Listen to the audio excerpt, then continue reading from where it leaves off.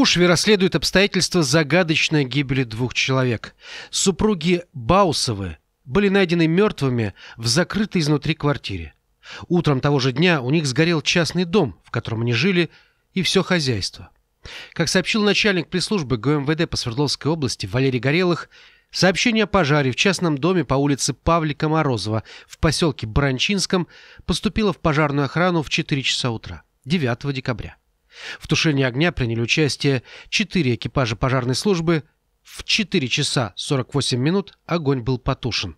Разбор сгоревших конструкций продолжался до половины 11 утра, однако прибывшие в 6 утра на место происшествия полицейские не смогли опросить погорельцев, поскольку те покинули пепелище.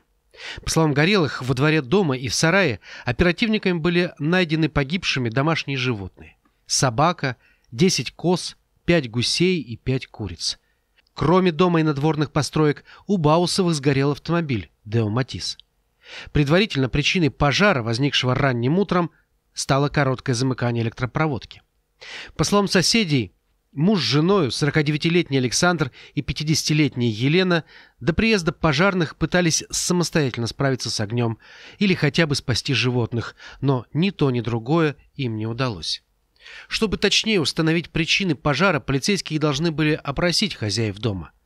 Соседка сказала, что еще в пять утра, как только огонь был потушен, стало понятно, что ни одно животное не спаслось, Баусовы отправились в квартиру матери Александра на улице Победы. Сама женщина умерла четыре месяца назад, ее сын даже не успел вступить в наследство.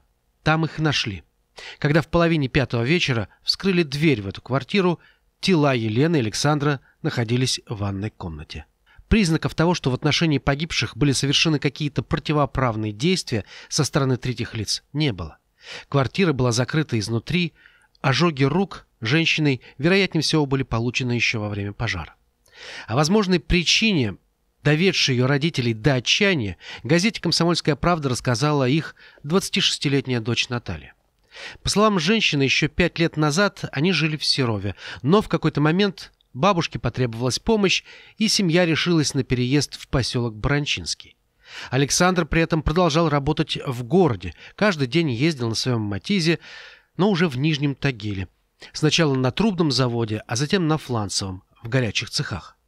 Папа, по словам Натальи, жаловался, что в 50 лет работать в горячем цеху ему уже тяжело, и после смерти своей матери уволился и вместе с женой окунулся в домашнее хозяйство.